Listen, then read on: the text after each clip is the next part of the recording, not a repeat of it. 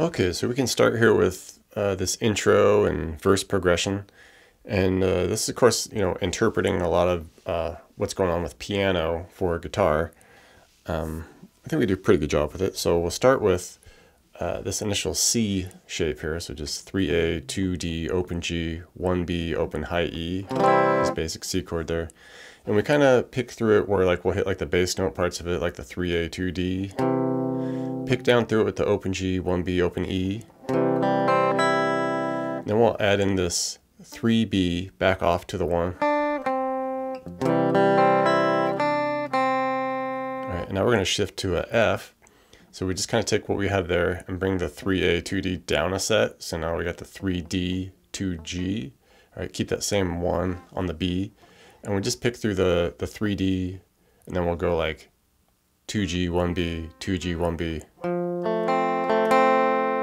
Okay, and we just repeat that whole thing about two and a half times, I guess you would say.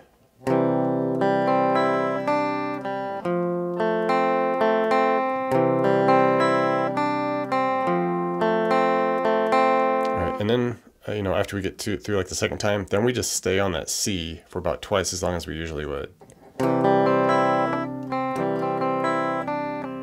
We shift to uh, kind of like wrapping up the, the initial section there where we do it with uh, basically a F chord with an A bass note.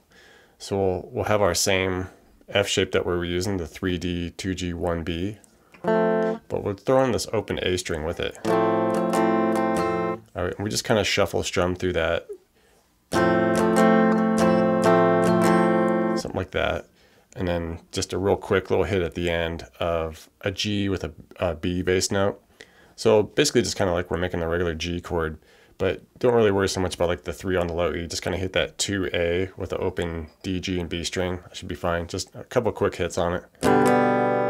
Okay. And we go through that whole pattern a couple times. Then I guess you would say this is the second part of the verse. Um, shift to just a F bar chord here. So just bar the ones, three on the A and D, two G. we just kind of hold that for a few strums. And E minor seven. So I like to do this spot where we just do the open E, two A, everything else open. Okay, A minor seven. So open A, two D, open G, one B, open high E. Same deal. D chord. So open D, 2G, 3B, 2 high E. D minor 7. So we keep our open D, 2G, 1 on the B and E. Okay, E7. So open E, 2A, open D, 1G, open B and E. A minor. So open A, 2D, 2G, 1B, open high E. Hold that for a little bit and then a little quick uh, strum at the end, hit a G chord. It's just a little beat before the uh, going back to the original first spot. And then eventually, uh, in the second and third verses, we get these little uh, second guitar like lead lines that come over the top of it. And uh, kind of does a little bit that you see in the chorus as well, where we'll be on the G here, and we just do a little bend on the seven, release off to five, do a 7D back to 5G and you can scale it down where we do like the 5G, 75D, 765A, 8E. Just playing around with that scale. Um, you can improvise on, on these kind of scales and bends too, it's fine.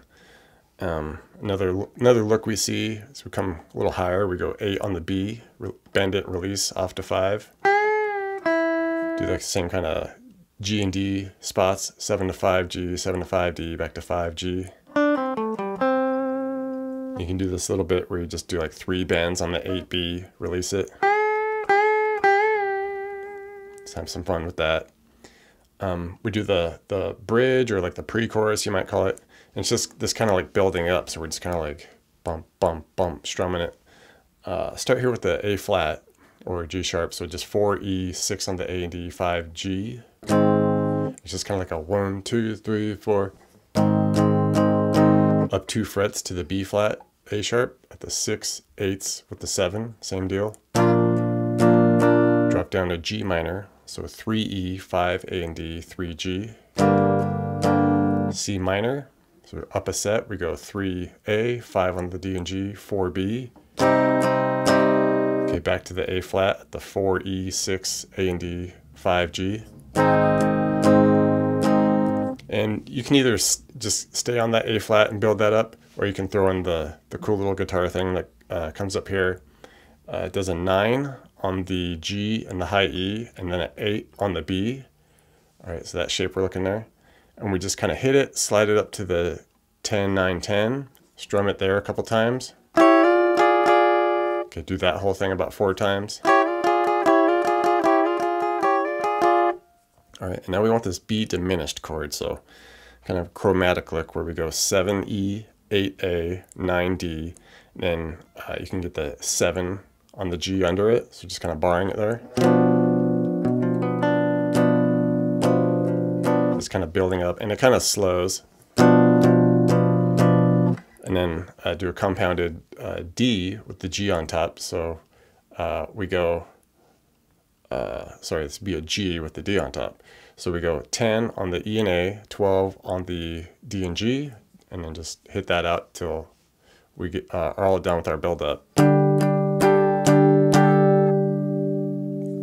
right, and then the chorus chords here, we start with our uh, F chord to the C to the D minor, open D, 2, G, 3, B, 1, E. Strum on that for a little bit. Hit the E minor at the last beat there, the open E, 2 on the A and D, open G, B, and E.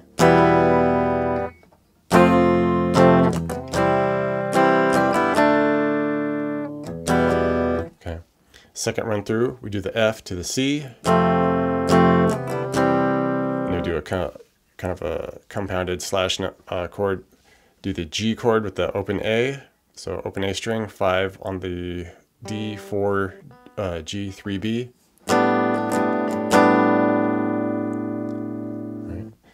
And uh, just basically cruise through those two different alternating pa patterns for the chorus. And the, the lead line over the top of it, we do a slide up to fives on the G and high E, slide up to fives on the D and B string, then slide to threes on the D and B. And then we do that little uh, bend there that we saw in some of the verse stuff. Uh, start at 7D, 7G, or sorry, 7D, 5G, bend the 7G back off to 5. Okay, and then do a quick 5G, 7D, 5G, 7D. Just play around with that.